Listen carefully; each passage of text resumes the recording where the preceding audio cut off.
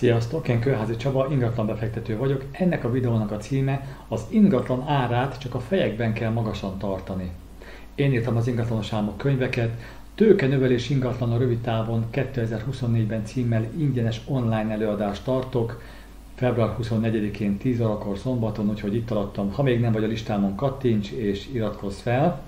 Ez nagyon érdekes, mert valóság és a a tényleges piaci helyzet elég, tehát nem a valóság, hanem a, a híresztelések, a híradások, a statisztikák és még nagyon sok minden elég erősen elválik a valós helyzettől. Ez nagyon érdekes, mikor olvasom a statisztikát, és kimegyek Győrbe, és veszek egy ingatlant, hogy teljesen más tapasztalok, mint amit mondanak és írnak.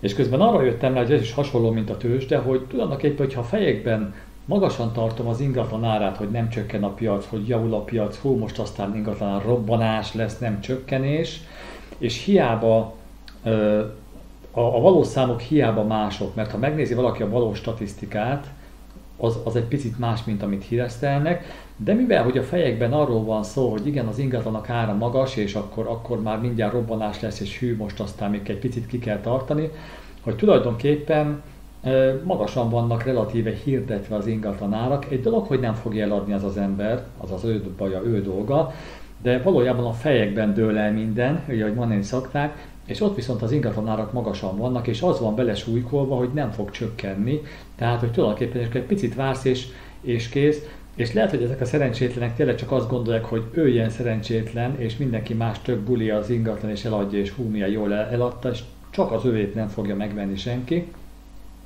Hát nagyon érdekes dolgok ezek, és egyébként ügyesen csinálják azok, akik mondjuk úgy, hogy manipulálnak minket. És ez tényleg így vagy, hogy nézed a tévét, bármelyiket, külföldi híradásról is van szó, ott igenis ez egy manipuláció, és mindig egyoldalú, és most valahol az az érdek, mintha a gazdaság nagyon jól menne, az ingatlanárak magasan vannak, igaz, hogy nem pörög a piac, meg a kutya nem vesz ingatlan, de egyébként magasan vannak, és hogy ezt ki kell tartani, mert ez milyen szuper dolog, és, és tulajdonképpen rendben van minden. Közben egyébként meg, hát mondjuk úgy, akár Győrbe is százával küldik el az embereket, de rendben van minden.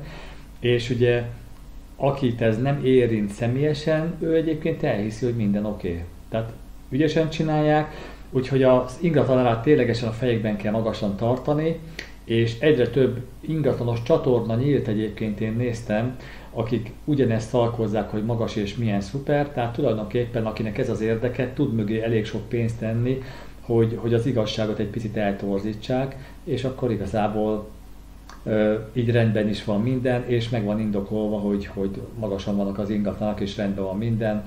Ha valaki más tapasztal, akkor ő valószínűleg osztályellenség vagy hülye, de ettől függetlenül a valóság az, hogy, hogy itt happy minden. Úgyhogy remélem, hogy ezt elhiszed, nézd a híradásokat, túl sok az info, tehát tényleg nem könnyű közte választani, de ettől függetlenül ajánlom, hogy a tőkenövelés ingatlan a rövid távon 2024-ben előadásomon vegyél részt, megmutatom, hogy most ezt hogy érdemes csinálni.